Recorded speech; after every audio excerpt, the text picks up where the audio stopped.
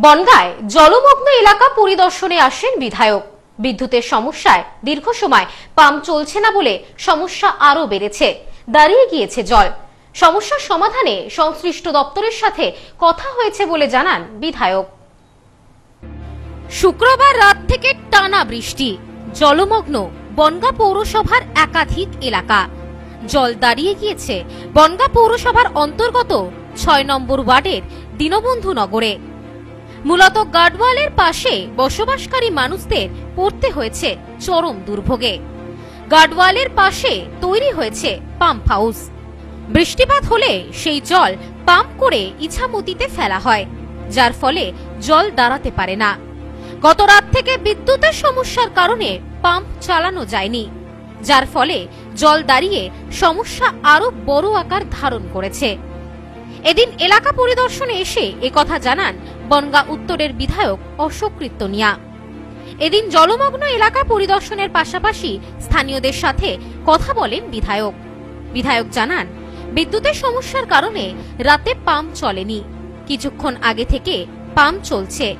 নিম্নচাপ এখনও দাঁড়িয়ে রয়েছে। আরও বৃষ্টিপাত হলে সমস্যা তৈরি হবে।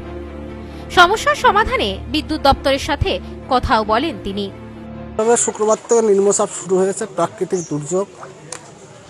তথাপিও যে সিস্টেমটা করা ছিল দীনবন্ধুনগর নতুন গ্রাম কলেজ পাড়া এরিয়াটায় যে নিষ্কাশনী ব্যবস্থা যেটা করা ছিল, গত রাত থেকে ইলেকট্রিকের বড় সমস্যার জন্য কিন্তু আজকে জলটা বেরোতে পারেনি।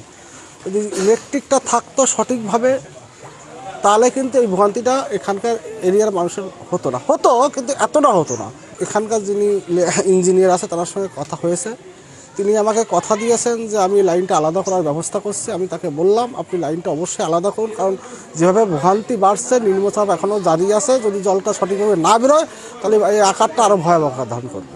যে ড্রেনটা আছে না সবথেকে বড় যন্ত্র ড্রেনটা নিয়ে, ড্রেনটা দীর্ঘদিন ধরে বিদ্যাধরী প্রকল্প আছে, বিদ্যাধরী প্রকল্প এবং সেই সঙ্গে আপনার বনগা পৌরসভা যদি স্টেপ নিত তাহলে এতটা ভয়াবহ আকার ধারণ হতো। যে ড্রেনগুলোতে, যে মেইন যে ড্রেনটা দিয়ে জলটা বেরোতো সেই ড্রেনটা পুরো আবর্জনায় জমে আছে। ড্রেন পরিষ্কার করতে গেলে ড্রেনের উপর জেসিবি লাগিয়ে পরিষ্কার করতে হবে। কারণ দীর্ঘদিন ড্রেনটা পরিষ্কার হয়নি। যেখানে মশার উপদ্রব হয়েছে, আর দেখবেন দুদিন পরে ডেঙ্গু শুরু হবে। এটা ভয়াবহ আকার ধারণ করবে এরিয়ায়। কারণ হচ্ছে ড্রেনটা যদি পরিষ্কার হতো, আজকে যতটা জল এখানে জমে আছে, এই জলটা এখানে জমতো না, আমাদের দৃঢ় বিশ্বাস।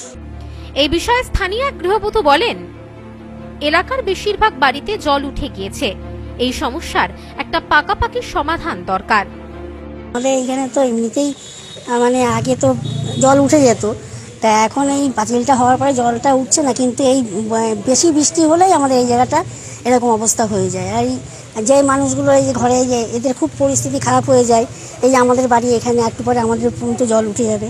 তাতে যাতে এই ব্যবস্থাটা একটু হয়, সেটা দেখেন। কেননা মানে আমাদের তো পরে ওঠে, এদের তো আগে উঠে যায়। সব্যসাচী ভট্টাচার্যের রিপোর্ট নিউজ স্নোম্যান্স ল্যান্ড বনগা। নেউপিসি জুয়েলার্স সম্পর্ক গড়ে দেয়। বনগাঁতে আমাদের তিনটি শোরুম প্রতিদিনই খোলা। New PC jewellers Bongaon Batar মোড়। নিউ পিসি জুয়েলার্স ব্রাঞ্চ কুমদিন স্কুলের বিপরীতে। New PC jewellers beauty Motiganj Hatkhola.